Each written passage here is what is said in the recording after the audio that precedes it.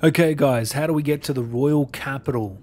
Pretty much, you can breeze through all the enemies via the horse torrent, but you will have to face one boss fight, which is can be quite difficult if you're not leveled appropriately. I would suggest around 70, probably get through quite easily around that that level. You don't want to come in around 50, that's just going to be too low. Probably even 60 is a little low as well. So come in around 70 to this boss fight, you'll be able to get into Royal Capital and follow me along. Pretty much it's it's that simple, just follow me along. You'll get to the boss fight. When you see me swing, that's where the boss fight is. And then off you go, you're in the Royal Capital where there's lots of armor, lots of weapons to discover and some really cool stuff. So I just couldn't believe my eyes when I went into this area, and I knew there was still so many to come. And just looking at this crazy city, oh man, this game just keeps delivering, doesn't it?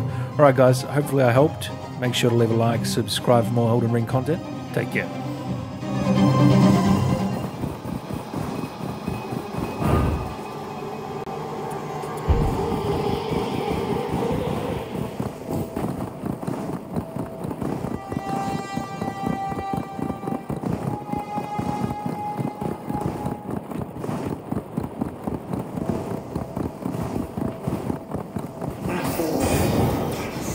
Florida.